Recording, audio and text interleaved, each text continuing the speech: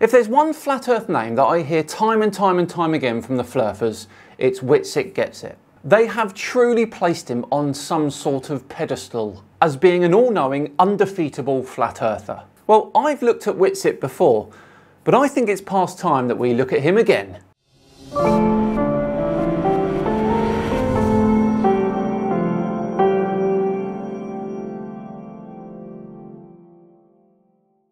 Hello all and welcome along to another episode of Flat Earth Friday with me, SciManDan. Thank you very much for joining me. Before we begin today, a huge thank you to the sponsors of today's video, Surfshark VPN. Now, Surfshark is a VPN service that makes online privacy protection easy and attainable, encrypting all internet traffic sent to and from your devices and ensuring your IP address remains hidden to make sure no one can see what you do online. Now on top of that, they also block ads, trackers, malwares and phishing attempts and unlike other VPN services, you can use it on as many devices as you want simultaneously. The internet today, in this day and age, knows a hell of a lot about us. So that's why we should care about our online data. And you can use Surfshark to encrypt your personal information and then send it via a secure VPN tunnel so that no one can see it without your permission, which is really good for protecting things like your ID. Now, ID theft happens all the time and it's actually quite scary. So you can use Surfshark's HackLock system to get alerts anytime your email address or password is compromised.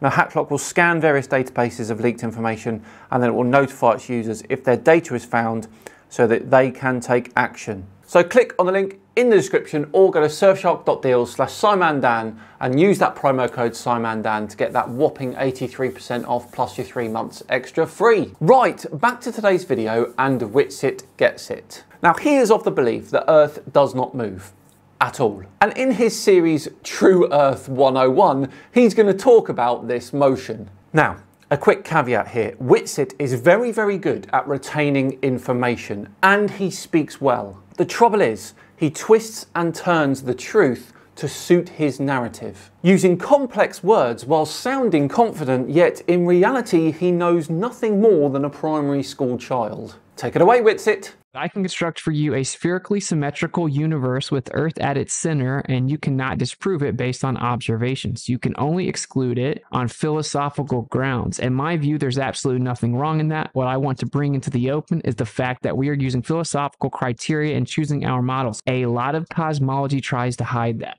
You don't say, George. I mean, it didn't get any better since you've made this quote. They completely try to hide it. They call it science and they deny that it's it's basically philosophy. What he's saying here is that you can treat the earth as stationary and in the center of the entire universe and you can't disprove it with any observations. You can only say, I don't like it philosophically. He says, I don't see anything wrong with that. Well, I disagree, but at least he tried to point it out to people because he said people try to hide that fact and claim it's science. You know what else George Ellis said? When talking about the independent movie The Principle, which is a film about Earth being of a geocentric nature, he said, and I quote, I was interviewed for it, but they did not disclose this agenda, which of course is nonsense. Nonsense, Witsit. Did you hear that?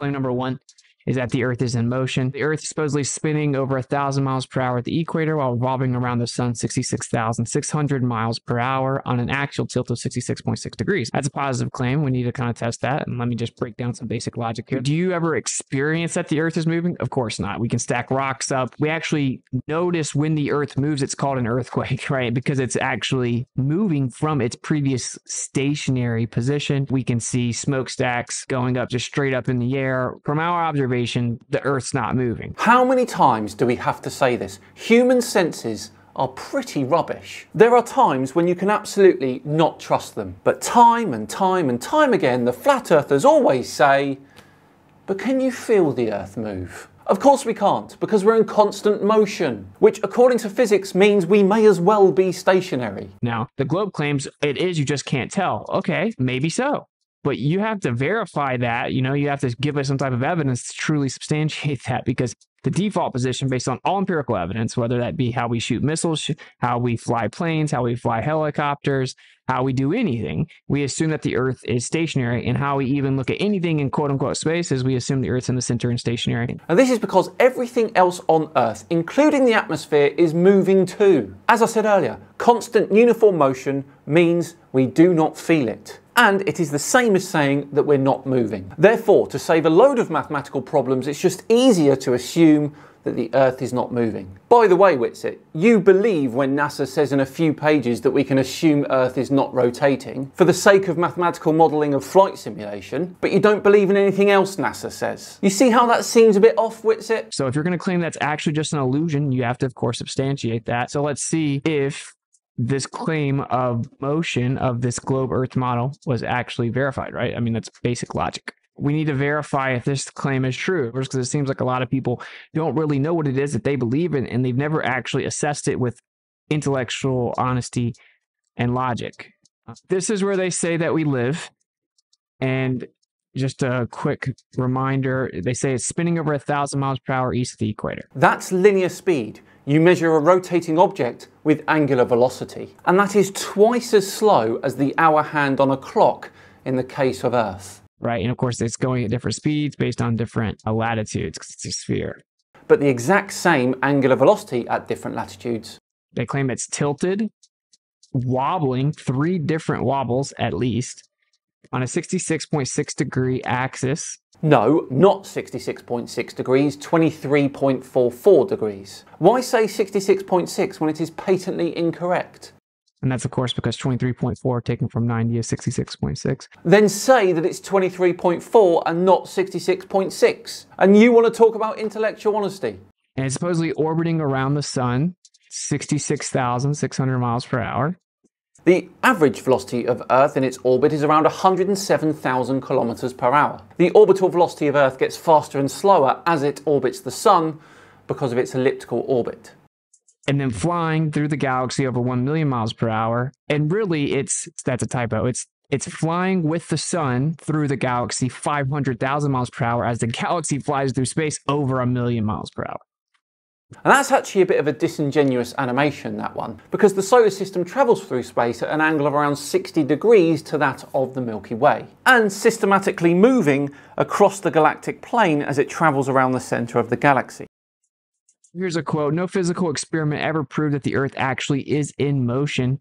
Lincoln Barnett, the universe, and Dr. Einstein. Hmm, that seems a little different than what we've been told or led to believe, huh? We just covered the basic logic that everything we've ever experienced is that it's not moving, so we're going to need some evidence that it is moving. These quotes are silly because you don't ever check them out. Why is there a capital N for no? Because there shouldn't be. That was not the start of the sentence. Now, this quote was lifted from a paragraph where Barnett was talking about Einstein's thought process regarding the motion of bodies through space. The very next paragraph after that says, and I'm reading all of it for context. Shortly after publishing the special theory of relativity, however, Einstein began wondering if there is not indeed one kind of motion which may be considered absolute, in that it can be detected by the physical effect it exerts on the moving system itself without reference to any other system. For example, an observer in a smoothly running train is unable to tell by experiments performed inside the train whether he is in motion or at rest. But if the engineer of the train suddenly applies the brakes or jerks open the throttle, he will then be made aware by the resulting jolt of a change in his velocity. And if the train rounds a turn, he will know by the outward tug of his own body resisting a change of direction that the train's course has been altered in a certain way.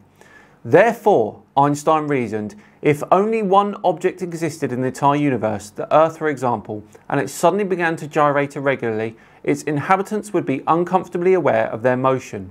This suggests that non-uniform motion, such as that produced by forces and accelerations, may be absolute after all. It also suggests that empty space can serve as a system of reference within which it is possible to distinguish absolute motion. Quote mining again, Witsit. Dear, oh dear. But let me guess, Barnett was wrong in his second paragraph. To the question whether or not the motion of the Earth in space can be made perceptible in terrestrial experiments, meaning as to the question of we, whether or not we can actually detect or perceive the alleged motion of the Earth in an experiment on the Earth, we've already remarked that every attempt of this nature led to a negative result meaning we weren't able to actually ever detect, perceive, or measure the motion of the Earth that is assumed. Before the theory of relativity was put forward, it was difficult to become reconciled to this negative result. That's Albert Einstein, Relativity to Special and General Theory, 1920, page 61. The key here is before the theory of relativity. Before it was put forward, it was difficult to reconcile this negative result. You literally just read it out. He then explains that the struggle so violent way back in the day uh, between Ptolemy and Copernicus would really be meaningless because either coordinate system could be used with equal justification. I, of course, challenge him on that. You have to verify the validity or justification for the idea that it's moving. We know that the stationary Earth can be used with justification because that's how we use the Earth for everything. This is a hostile witness, and he says the two sentences quote, the sun is at rest and the earth moves, or the sun moves and the earth is at rest, would simply mean two different conventions concerning two different coordinate systems, Albert Einstein and the evolution of physics, 1938. Of course, relativity is still used to this day as the glue for this entire claim that we're flying through space and just can't tell. But that's what general relativity is. It's the nature of the beast. You pick a coordinate system and describe what you're seeing. It can actually be used to disprove any theory you put forward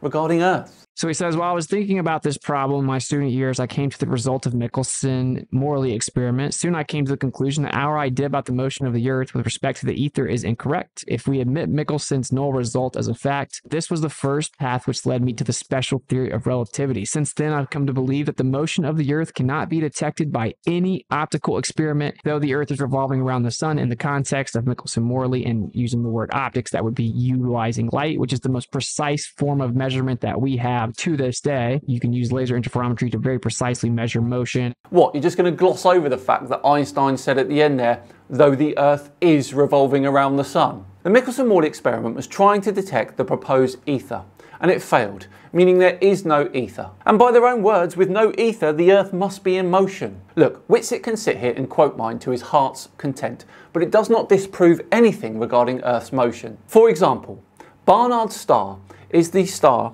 with the largest proper motion of any star that we can see. Now, proper motion is the angular change in position of a star across our line of sight, measured in arc seconds per year. That takes into account a star's radial velocity and true motion, and it measures against the backdrop of stars. Now, Barnard star has a proper motion of around 10 arc seconds per year. Now, the great thing about this is when we measure the parallax of Barnard star, we see it moving from left to right, a consequence of Earth's orbit around the Sun viewing the star from different viewing points throughout the year.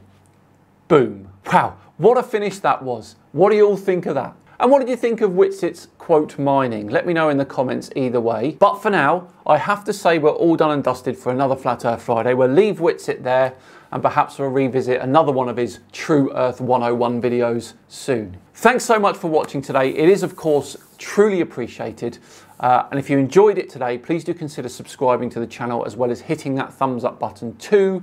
And if you really enjoyed it, consider sharing it as well. Just enough time to once again thank Surfshark for sponsoring today. Uh, remember, click the link in the description or visit surfshark.deal slash SciManDan and use the code SciManDan to get that huge 83% off and the three months extra free. I've been SciManDan, have yourselves a great weekend and I'll see you all on Tuesday where we're going to be looking at aliens.